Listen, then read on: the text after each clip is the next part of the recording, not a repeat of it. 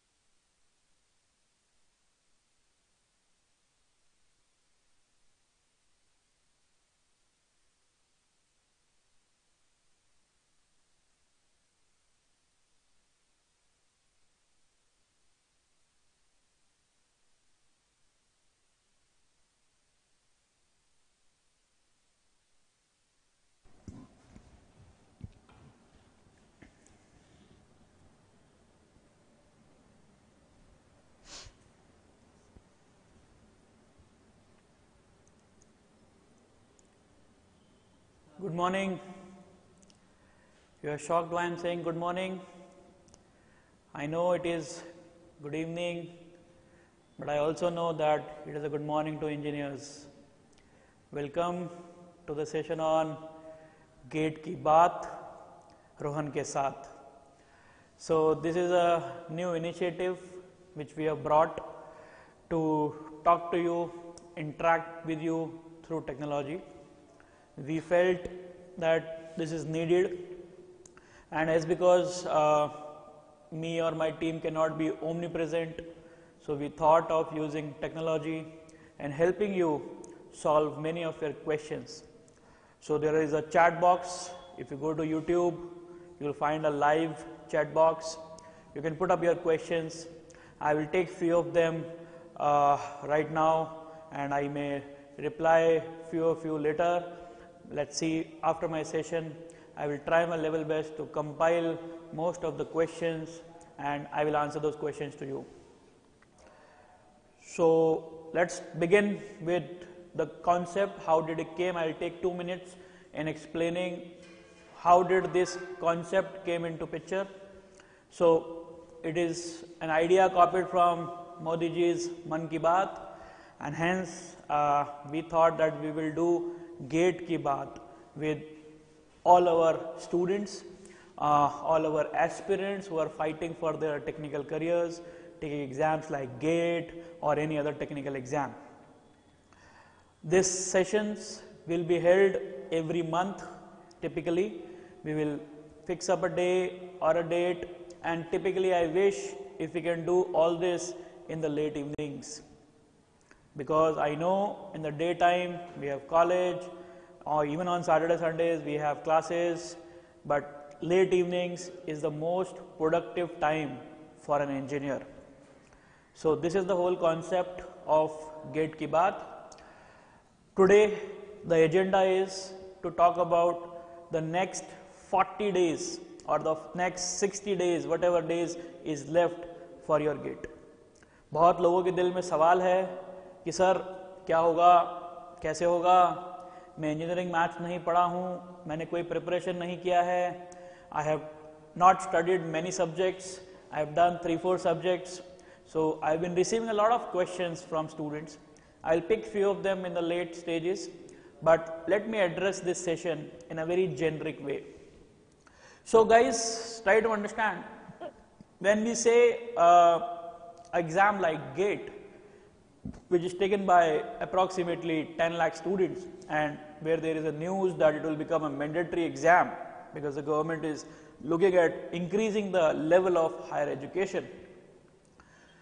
This exam requires the same type of approach as Virat Kohli requires to win the Adelaide Test match. If you don't have that mindset, you will not be able to win this match. Try to understand a cricket match or a gate exam are no different. They are almost the same. There are three integral parts according to me to win this game. क्या हैं वो तीन चीज़ें जो इस game को आपको जिता सकती हैं नंबर एक मैं कहूँगा एक स्ट्रैटेजी जिसको हम कहेंगे game plan second I would say is your hard work and third I would say, is your aggressiveness. I am repeating these three things which are very, very important if you want to clear exam, if you want to win the show, these three things will be very important. And I will talk about these three things in the next 20-30 minutes which I am going to talk about. First thing I said was having a strategy or a game plan. Second I said a lot of hard work and practice. Third I said it's a lot of aggression and lot of motivating factor which you should keep in your mind. If you have these three things, I am very sure that you will win the battle against the others. One by one, I will talk about all these three. First, let me take strategy in place. Most of you are on the verge of completing your exams. सभी लोगों के लगभग final exams या तो खत्म होने वाले हैं या हो चुके हैं सबके मन में एक सवाल है, सर, अब अगले 40-45 दिन में क्या करें? हमने कुछ ज़्यादा पढ़ाई किया नहीं है, हम बहुत ज़्यादा प्रिपेयर्ड हैं नहीं what should I do lot of thoughts are going friends क्या पूछेंगे? पेरेंट्स क्या पूछेंगे? मैं एक साल से गेट के लिए तैयार कर रहा हूँ, मैं छह महीने से गेट के लिए तैयार कर रहा हूँ। What will happen is a big question first of all try to understand guys you know to sit back make a game plan and then move forward. Do you think that Virat Kohli on a very sunny morning go to the ground and says, "Hello guys, all 11 players, let's play the match? No. There are strategies behind that. They know which over Ashwin should ball. They know which over the fast bowler have to be removed. There are strategies behind that. And the same thing is to be done by us for clearing the exams. So when I talk about strategy सबसे important और महत्वपूर्ण चीज़ है to know about yourself if I don't know my status if I don't know my level of preparation right now I will not be able to perform what I wanted to perform तो सबसे पहला चीज़ जो आपको करना होगा, अपना level of preparation समझना होगा। कैसे समझूँगा लेवल ऑफ़ प्रिपरेशन सर सबसे पहली चीज़ मैं सजेस्ट करूँगा आपको, जैसे ही आपके यूनिवर्सिटी एग्ज़ाम्स खत्म होते हैं the moment you finish your university exams please take a mock test sir without any preparation should I take a mock test yes take the mock test as a diagnostic test what do I mean by diagnostic test when we go to a doctor the doctor diagnosis with some test yes और no yes similarly we need to test ourselves or our preparation. It's not the way that we have not studied anything. We have at least done some engineering in some or the other form. हमने कुछ तो पढ़ा है अगले पिछले तीन साढ़े तीन सालों से जब से इंजीनियरिंग पढ़ रहे हैं हम बहुत कुछ जानते हैं हमें साइनेक्स का इंटीग्रेशन तो पता है हमें कॉसेक्स का इंटीग्रेशन तो पता है हमें पता है लिमिट कैसे अप्लाई करते हैं, एल हॉस्पिटल रूल क्या होता है, बेसिक्स हम जानते हैं। इसलिए मैं कह रहा हूँ प्लीज़ टेक अ टेस्ट आपको कहीं और से नहीं मिलता है तो आइस गेट जिस चैनल पे आप हो, उसी की वेबसाइट पे एक फ्री टेस्ट है। It's a mock test which is free you can take जानिए आपका लेवल ऑफ़ अंडरस्टैंडिंग क्या है। समझिए आप कहाँ कहाँ एरियाज़ में वीक है। आपने एक शब्द का नाम सुना होगा स्वाट analysis which is called as strength weaknesses opportunity and threats please understand in an exam like GATE ये चारों चीज़ें आपके पास होनी बहुत ज़रूरी है। इन चारों चीज़ों का आकलन आपको करना होगा। जब तक आपको यह नहीं पता कि थर्मोडायनेमिक्स मेरी स्ट्रेंथ है, या एनालॉग सर्किट्स मेरी वीकनेस है, या डीबीएमएस में मैं कमज़ोर हूँ, तब तक आप आगे नहीं बढ़ पाएँगे। आपको अपनी स्ट्रेंथ भी पता होनी चाहिए, आपको अपनी वीकनेस भी पता होनी चाहिए। जब तक आप ये सब्जेक्ट नहीं निकाल पाओगे तब तक आगे बढ़ना मुश्किल है। और दूसरी चीज़ बच्चे डरते हैं कि सर मैंने प्रिपरेशन नहीं की है मैं मॉक टेस्ट कैसे लिख दूँ? समझने की कोशिश कीजिए वो मॉक टेस्ट केवल आपको दिख रहा है उसका रिज़ल्ट केवल आप जानते हैं। सो so, किसी को बता नहीं रहे हो आप लेकिन आईना देखना ज़रूरी है।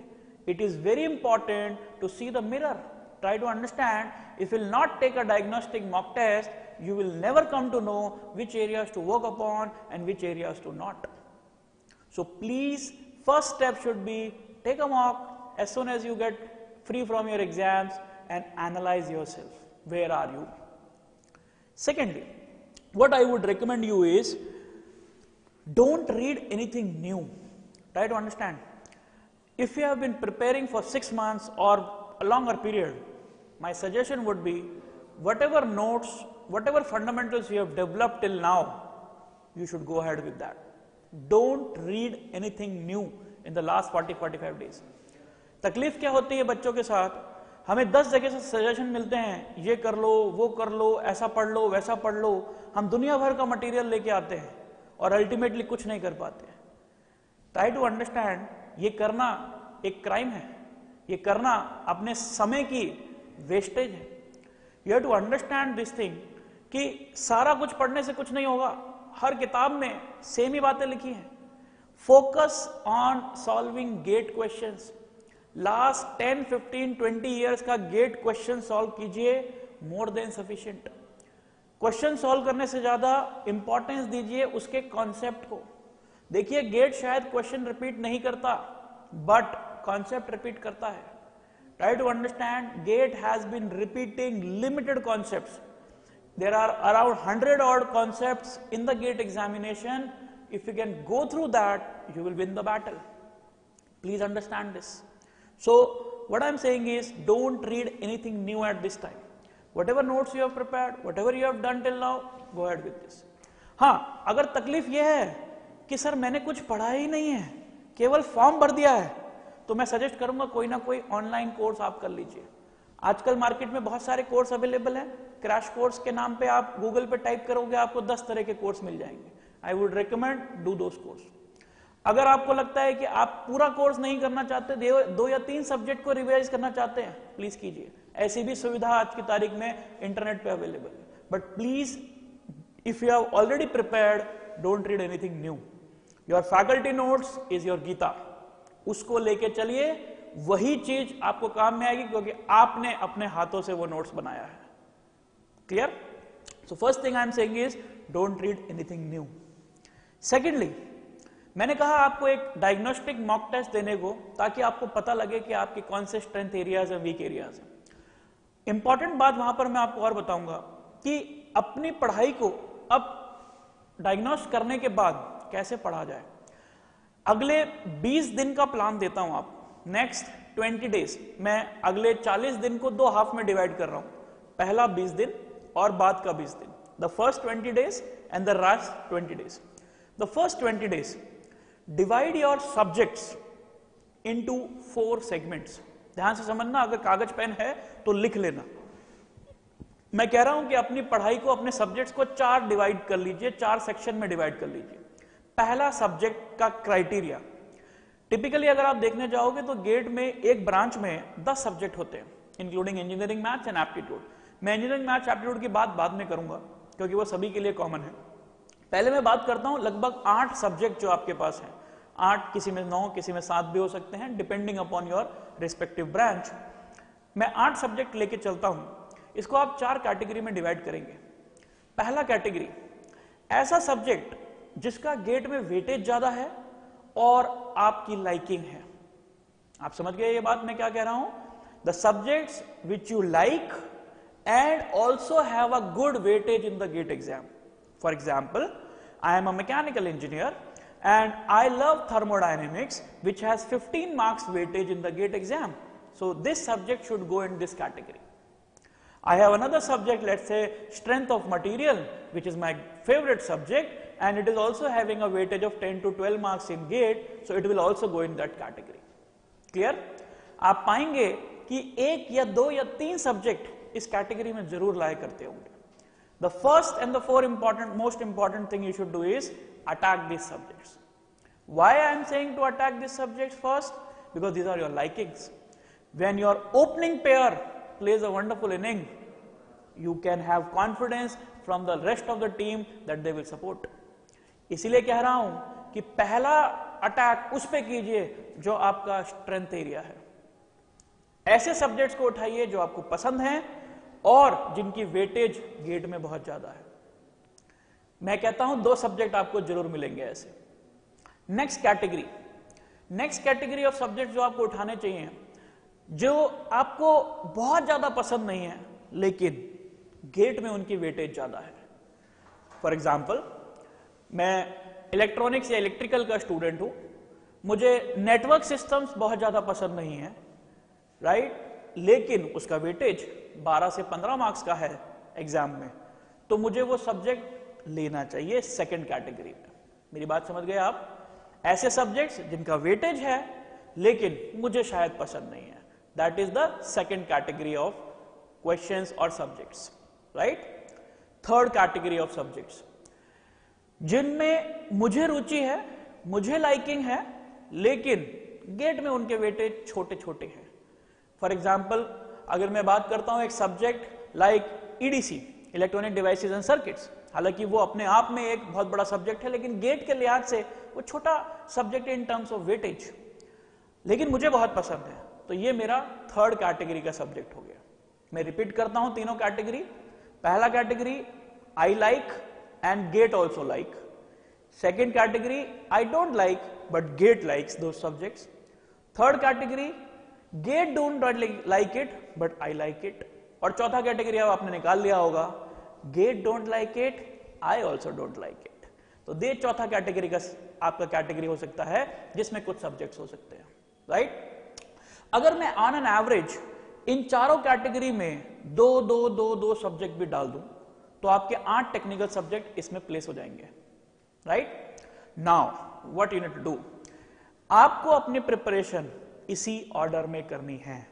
मैंने कहा the next 40 days divided into 20 and 20 the first 20 days again further divided into 5 5 5 5 what do I mean by 5 5 5 5 पहला कैटेगरी का सब्जेक्ट कौन से थे? गेट को पसंद है मतलब गेट का वेटेज ज़्यादा है और मुझे भी पसंद है। गेट लाइक आई लाइक ऐसे सब्जेक्ट्स को पहले पाँच दिन में खत्म कर दें। चाहे वो एक सब्जेक्ट हो, दो सब्जेक्ट हो, तीन सब्जेक्ट हो। आइडली मैं मान के चल रहा हूँ कि हर कैटेगरी में दो दो सब्जेक्ट आ जाएँगे। तो दो सब्जेक्ट को आपको ऐसा करना है कि पाँच दिन में खत्म करना है। नाउ खत्म करने से मतलब क्या होता है सर खत्म करने से मतलब है कि मैंने जो नोट्स बनाए हैं, उसको पढ़ूँगा। ऑनलाइन ट्यूटोरियल अगर मैं अटेंड करता हूँ तो ऑनलाइन ट्यूटोरियल खत्म करूँगा। उसी सब्जेक्ट्स के गेट क्वेश्चंस फिनिश करूँगा। उसी सब्जेक्ट्स के प्रैक्टिस क्वेश्चंस जो आपको प्रैक्टिस बुक मिलती हैं आइस गेट की तरफ़ से उस प्रैक्टिस बुक में से उस सब्जेक्ट के क्वेश्चन सॉल्व करूँगा। If you have done this you should be feeling that you have done a comfortable job लेकिन इंपॉर्टेंट बात यह है कि यह पाँच दिन में होना चाहिए। बहुत बड़ा टास्क नहीं है बिकॉज़ मैं ये बात कर रहा हूँ when your exams get over आपकी यूनिवर्सिटी एग्ज़ाम खत्म हो जाने के बाद आपके पास और कोई लक्ष्य नहीं है। You don't have any other work to do now so you have at least 14 to 17 hours to study for your GATE preparation every day and you will have to invest that much time for getting good results. So first five days devote to subjects of the first category. That means high weightage, high liking of mind. Next five days devote to the subjects of second category where you are saying the subjects which get like but I probably don't enjoy them. Next five days you should invest on the third category which I like but gate do not give it much weightage. That is the third category. And the last five days you should give to the subjects weightage less and I also don't like much. Again, some of you might be thinking, can we leave some subjects, sir? Can we say, let me, let me not read two or three subjects? I would highly not recommend that.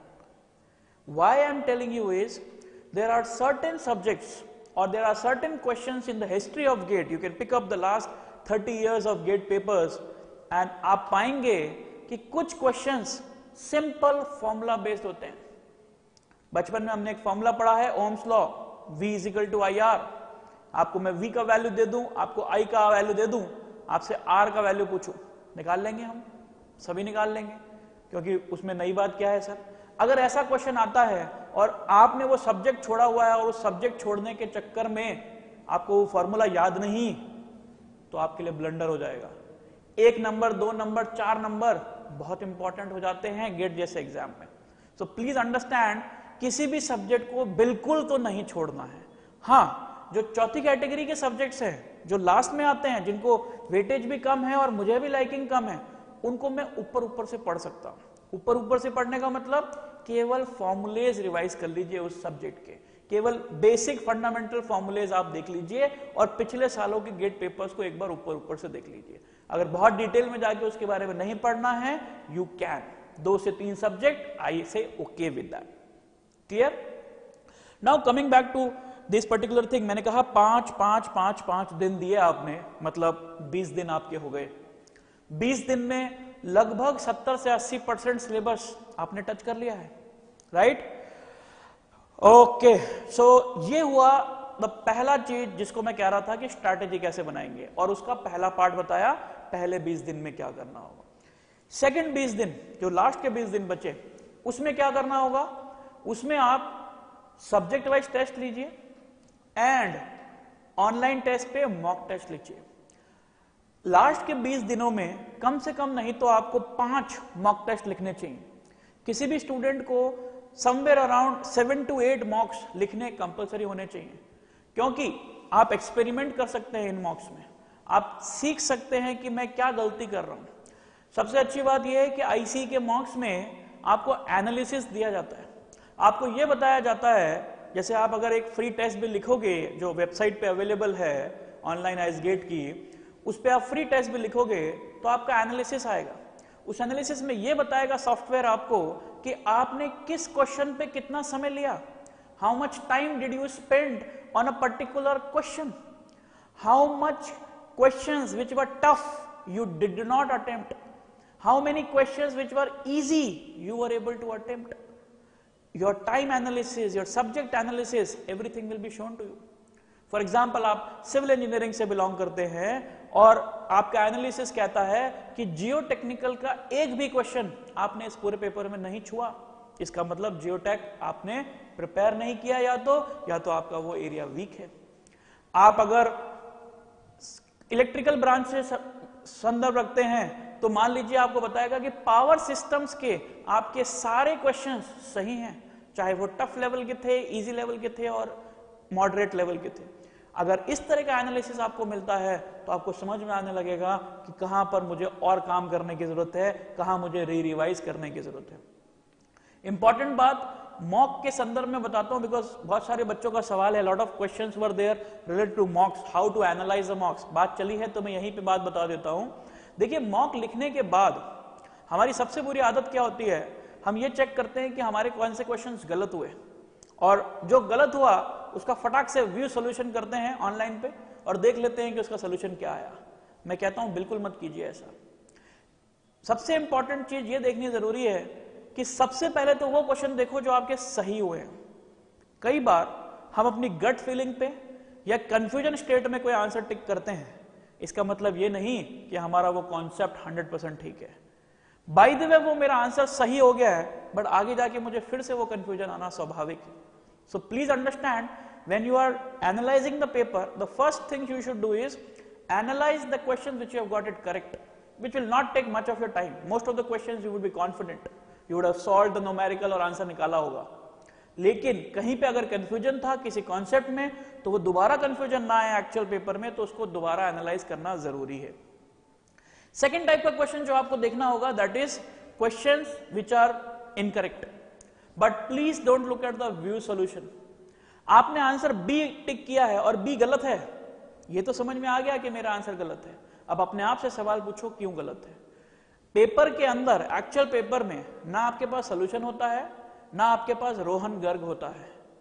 कहने का मतलब है, आप होंगे और आपका brain होगा तो आप ही को फाइट करना होगा।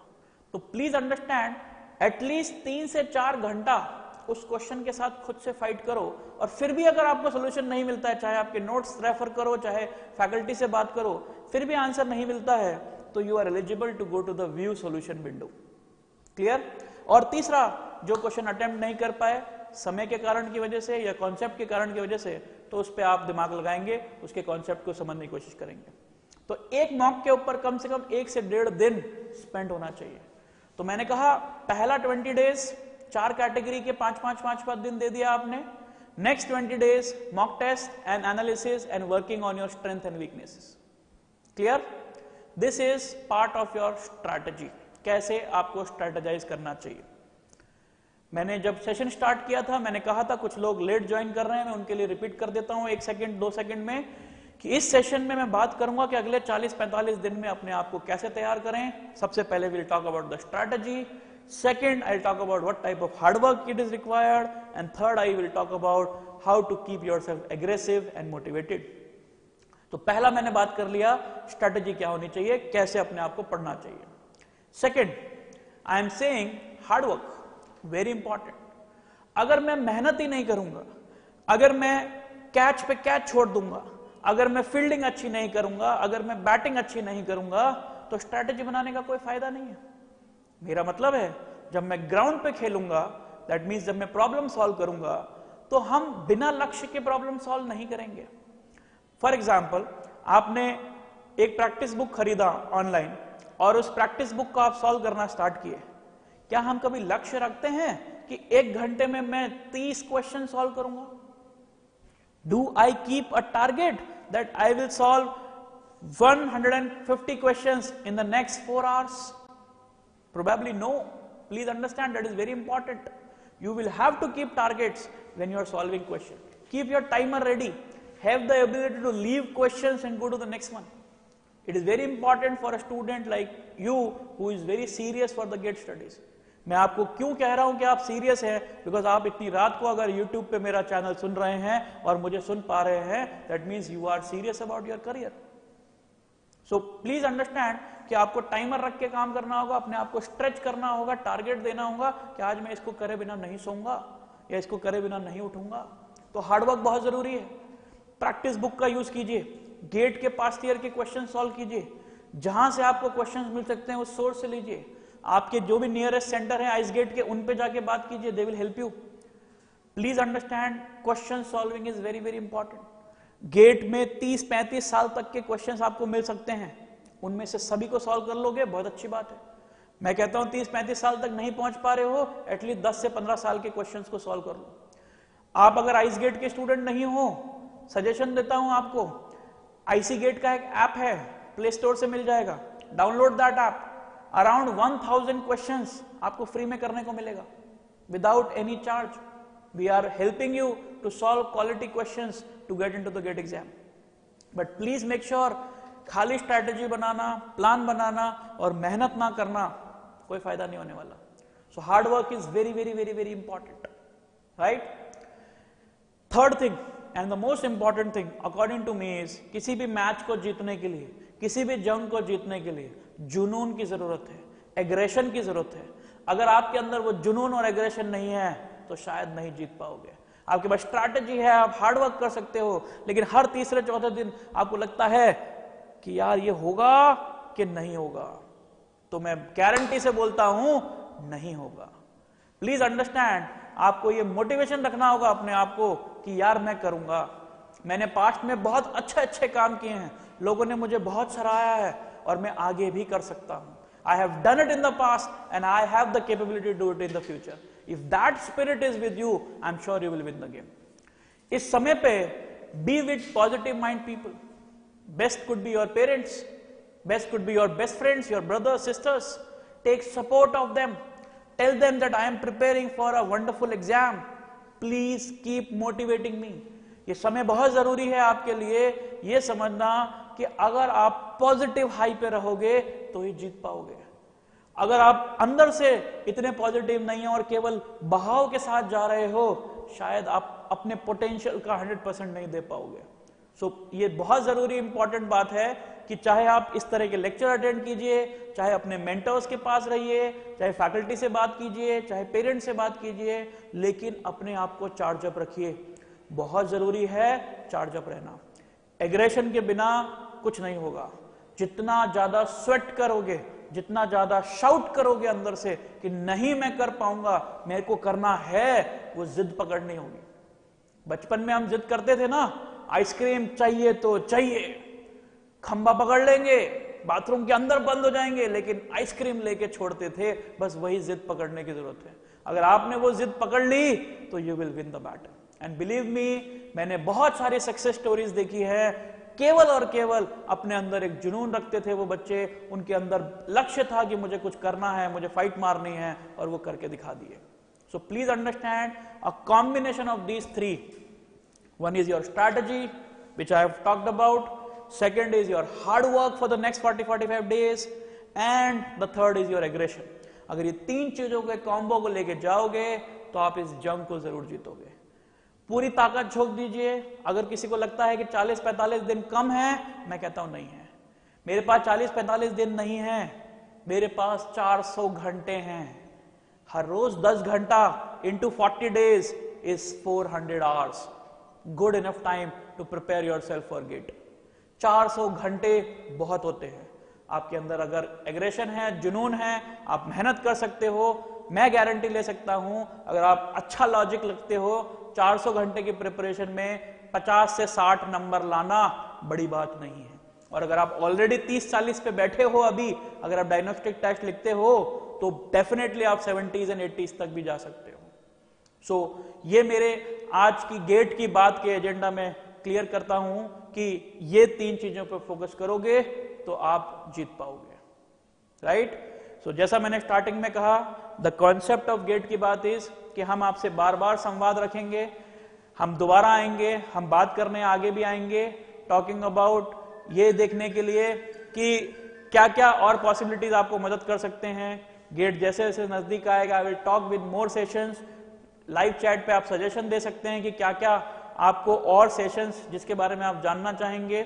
Before we end up there are few question which I will like to take which the students have given us on your live chat I can I can see some question coming up this place so I would like to hear from sir is on the desktop sir किस तरह के questions बच्चे पूछ रहे हैं? आप मुझे कुछ दो चार क्वेश्चन बताएँगे तो मैं उनके जवाब हाँ, दे सर निधि चिरानी जी पूछ रहे हैं और इसी से सेम रिलेटेड राजेश जी पूछ रहे हैं क्वेश्चन सर कम टाइम बचा है बहुत डर लग रहा है। How to handle pressure pressure pressure से रिलेटेड बहुत सारे डाउट्स आ रहे हैं। कॉन्फिडेंस कैसे? आ, किसने पूछा है ये? Nidhi Nidhi and Rajesh. Nidhi and Rajesh thanks for asking question first of all और देखो एक चीज़ मैं बताऊँगा बेटा ये समझने की कोशिश करो स्प्राइट का एड देखा है? है ना? क्या कहता है वो? डर के आगे जीत है। बस वही चीज़ करनी है हमें। प्लीज़ अंडरस्टैंड स्प्राइट नहीं आई थिंक माउंटेन डू का एड है वो। ठीक है? वो जो भी है, लेकिन मेरे कहने का मतलब यह है कि अगर आप डरोगे तो सामने वाला आपको और डराएगा। आपको डरना नहीं है। आपको ठंडे दिमाग से सोचना है इस समय पे, इसलिए मैंने कहा पॉजिटिव लोगों के साथ रहना बहुत ज़रूरी है।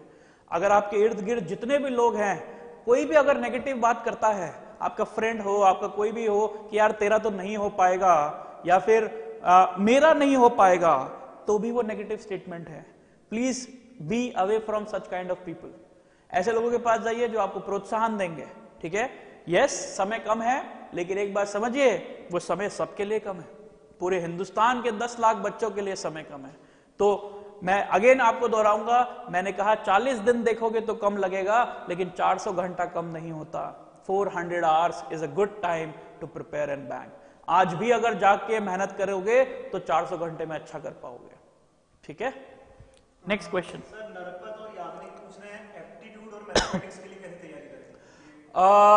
Narpat and Yagnik देखिए ये सवाल uh, सभी का होगा इनफैक्ट कि एप्टीट्यूड और इंजीनियरिंग मैथ्स जो कि लगभग 30 नंबर का वेटेज रखते हैं और जो हमारे गेट स्कोर की नींव रखते हैं उसके लिए क्या करें? बहुत सिंपल है यार. इंजीनियरिंग मैथ्स हम बचपन से पढ़ रहे हैं. In fact Laplace differential equations matrices ये हमारे टेक्निकल सब्जेक्ट्स में भी आते हैं. टिपिकल क्वेश्चंस होंगे आपके पास. For example eigen values eigen vectors ठीक है? रैंक ऑफ़ अ मैट्रिक्स निकालना. ये बहुत ऑर्थोडॉक्स क्वेश्चन है जो हर साल पेपर में पूछे ही जाते हैं.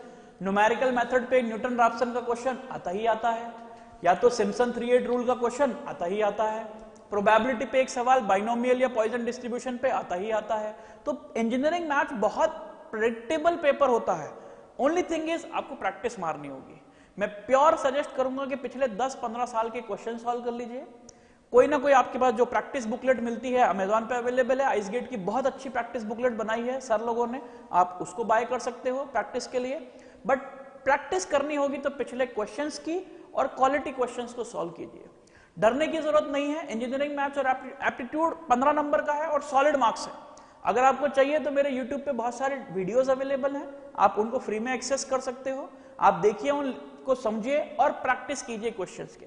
हमने सभी कैटेगरी के क्वेश्चंस को कवर करने की कोशिश की है, चाहे वो परमोटेशन कॉम्बिनेशन हो, चाहे क्लॉक्स एंड कैलेंडर के क्वेश्चन हो। सबसे बुरी बात एप्टीट्यूड की है कि कोई पर्टिकुलर पैटर्न नहीं है। पिछले आठ, नौ, दस सालों से जब से एप्टीट्यूड आया है, कोई पर्टिकुलर पैटर्न ऑफ़ क्वेश्चन नहीं है। तो आपको सब कुछ प्रैक्टिस करना पड़ेगा। Anything can come right and अगर आपने बहुत कुछ नहीं भी किया है तो एप्टीट्यूड इज़ समथिंग जो आप लॉजिक से भी थोड़ा बहुत सॉल्व करोगे बीइंग एन इंजीनियर आप उसको कर पाओगे। लेकिन मेरा एक प्योर सजेशन अगर आपको रहेगा take a practice book and start solving question without any theory you will be able to solve basic सवाल पूछे जाते हैं परसेंटेज के ऊपर प्रॉफिट लॉस के ऊपर टाइम स्पीड एंड डिस्टेंस के ऊपर। ये सारे टॉपिक्स हम एट नाइन टेंथ में पढ़ चुके हैं। ओनली थिंग इज़ उनको सॉल्व करने की अप्रोच आपको सीखनी होगी।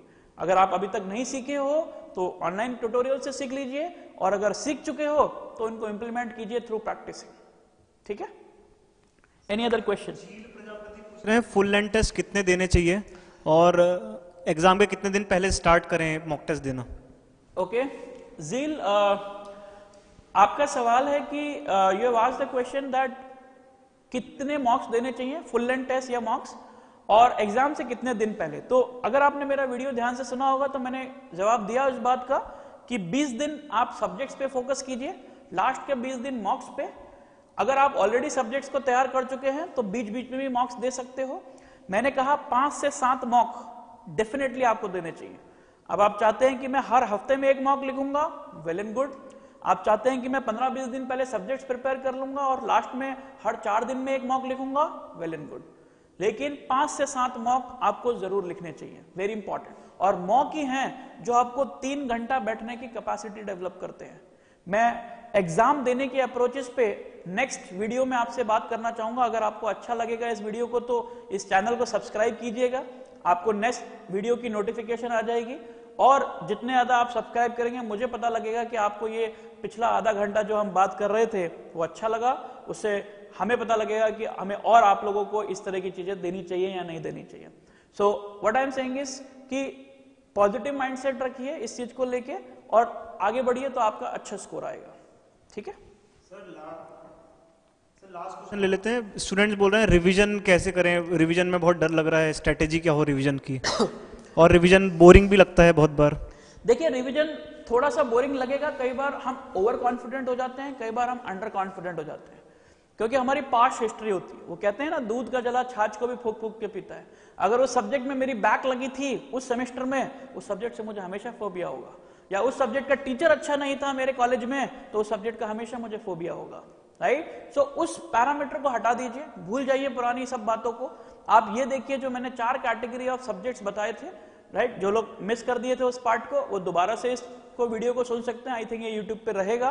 तो आप बाद में भी इस वीडियो को सुन सकते हैं। मैंने चार कैटेगरी ऑफ़ सब्जेक्ट्स बताए हैं। उन चार कैटेगरी ऑफ़ सब्जेक्ट्स के हिसाब से आप पढ़ाई करें। उस चार कैटेगरी को पाँच पाँच दिन का टाइम दें। आई एम श्योर आपका रिविजन बहुत अच्छे से हो सकता है। ठीक है? मैंने बताया आपको कि जो सब्जेक्ट आपके बहुत ग्रेट नहीं हैं, जिनको आप पसंद नहीं करते हैं, उनमें केवल फॉर्मूला पढ़ लीजिए।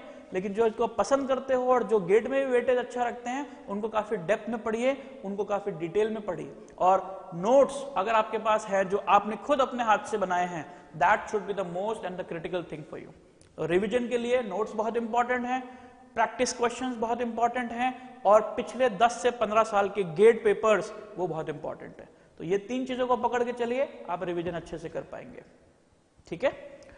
सर लास्ट में हम क्लोज कर सकते हैं। कुछ बच्चे क्रैश कोर्स के बारे में पूछ रहे हैं। क्या क्या इन्फॉर्मेशन है क्रैश कोर्स कैसे क्या क्या सब्जेक्ट्स अच्छा, कवर होंगे? अगर देखिए ऑन स्टूडेंट डिमांड हमने एक छोटा सा क्रैश कोर्स को क्रैश कोर्स नहीं कहूँगा मैं।